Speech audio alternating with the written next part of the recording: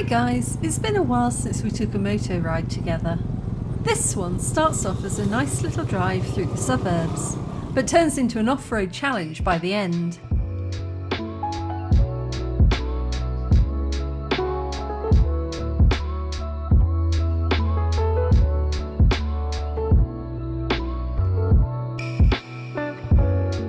Today, I'm heading off to tune a piano in Kibagabaga.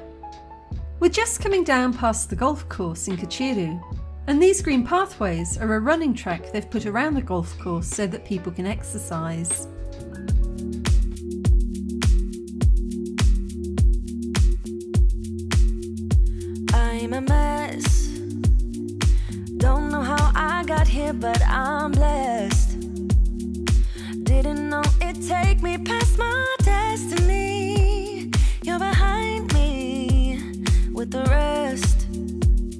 Cause I'm a mess. No more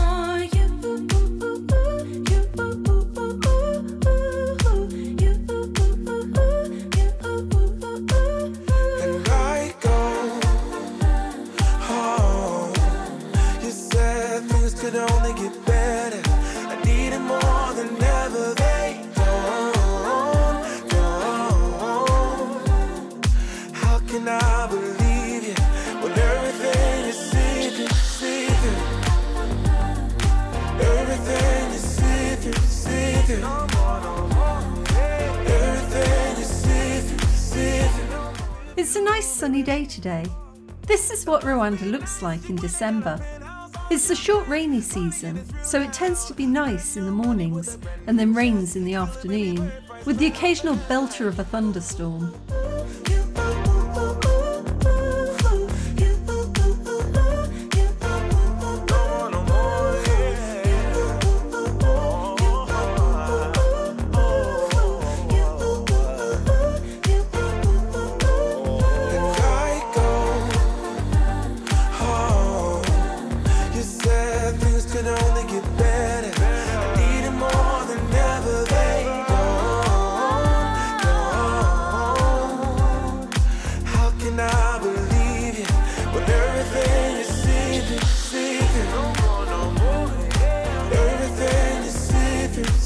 See-through. Everything is see-through. Everything is. How can I believe when everything is see-through? Oh, Home. You said things could only get better. I need it more than ever. They don't, don't, don't,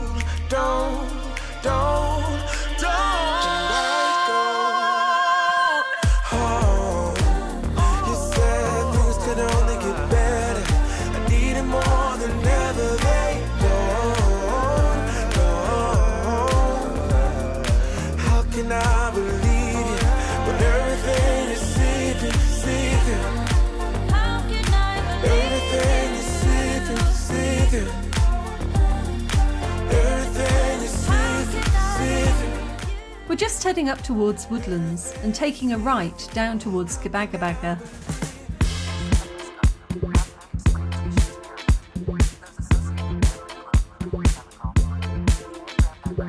You don't hear me, you don't see me. Your head is somewhere else. Do you remember? This is a whole new road layout, and there's no giveaway markings on anything. There's loads of junctions around Kigali where two or more lanes of fast moving traffic merge at speed without any giveaway signs or line markings. It makes things rather exciting.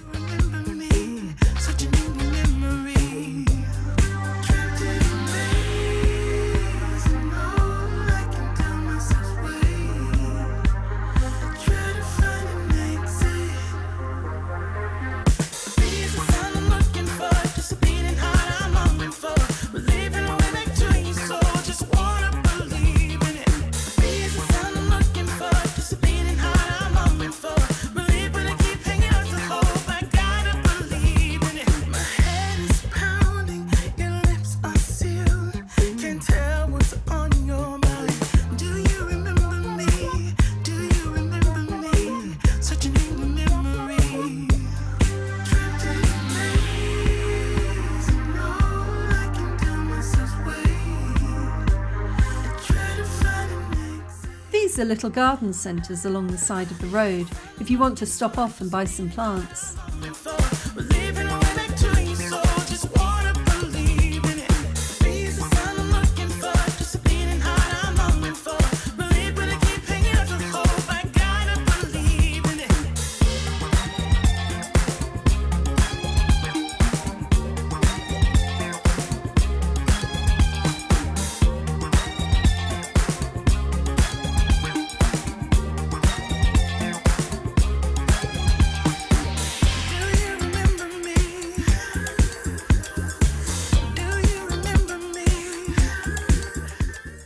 Heading up the hill towards Kibagabaga. Most people know this area for a bar called Pili Pili. They have a neat collection of Royal Enfields and a Rolls Royce. The owner also has a Sebastian Erard piano, which is over 100 years old, but it's not in a playable condition.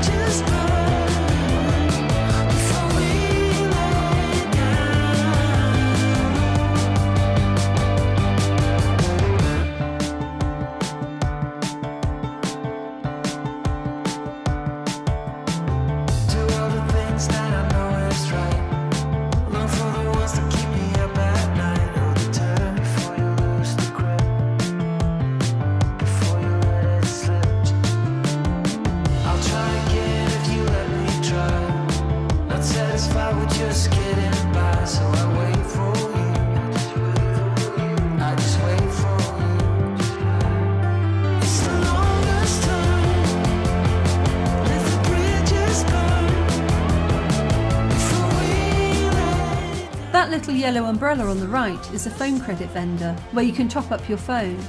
Yellow for MTN and red for Airtel.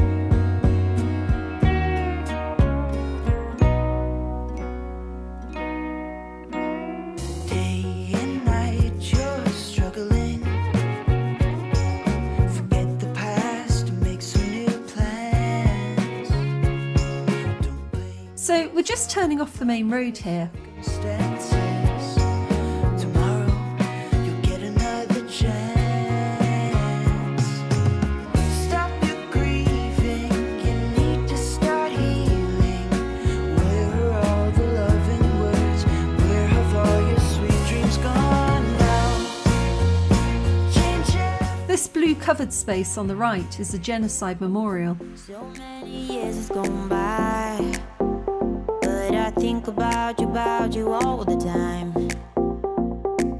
Looks like you're changing and all, but why didn't you?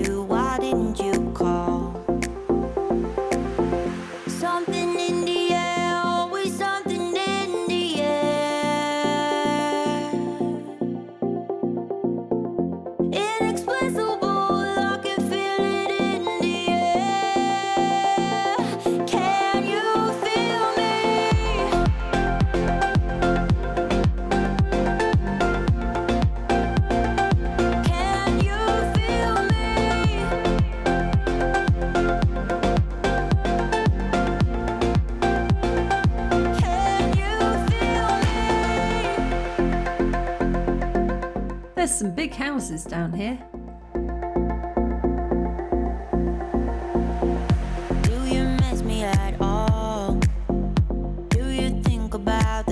Used to do? No, you couldn't stand tall. So why didn't you? Why didn't you call? So many years has gone by, but I think about you, about you all the time. Looks like you're changing and all. Here's where things start to go a little bit awry. I've never been here before, so I'm following GPS. Google Maps favours the most direct route, which on mud roads is usually the one you're most likely to break your neck on.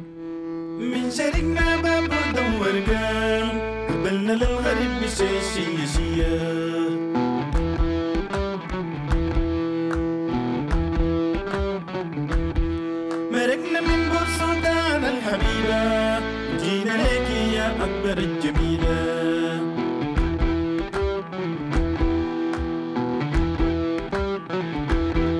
لما نقول من أكبر القوية قبل ناس كرتم الحنينة.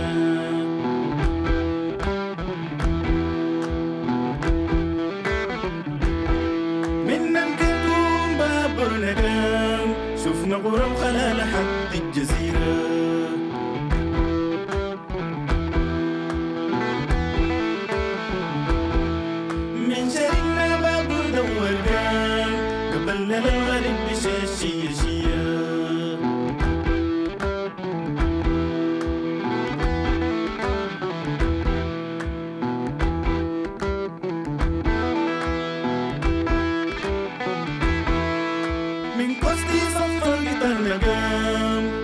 دربنا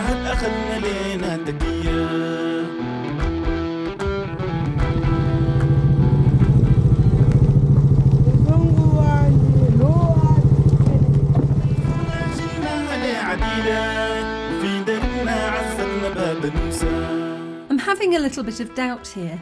The road ahead does not look inviting, but GPS is telling me it's the right way to go, and I don't have any better ideas.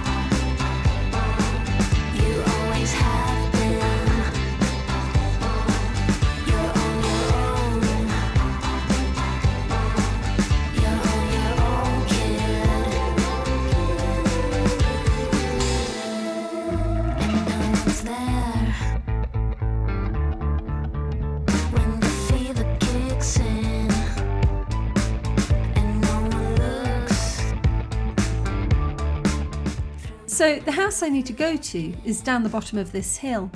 You really can't tell from the video, but it is seriously steep. Whilst learning to ride motorbikes, I came off twice. Both times were going down mud roads like this. They've got deep rain gullies down them, and they're covered in a fine layer of gravel.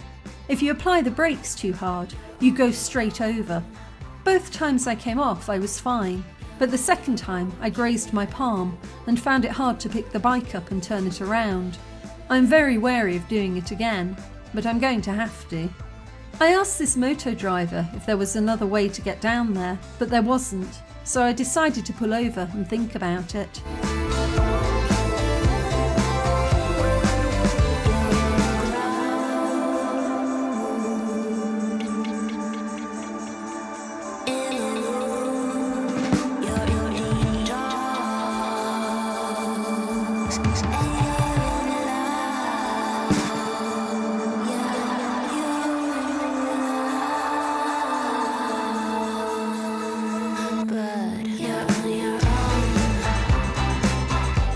The other guy went down the road and I watched him do it. This gave me the courage to follow. Sometimes you just need to see that something is possible before you give it a go. This road really doesn't look bad on camera, but when you're coasting down it in full 3D on a bike that isn't really built for off roading, it's a little hair raising.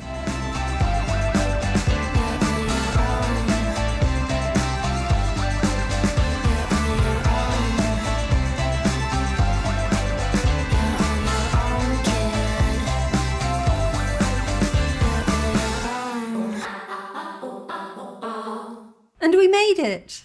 From here it was plain sailing, and the owner of the piano explained a slightly easier way to get back. Going uphill is always much easier anyway. So I hope you've enjoyed this tour of the back streets of Kibagabaga. See you in the next one.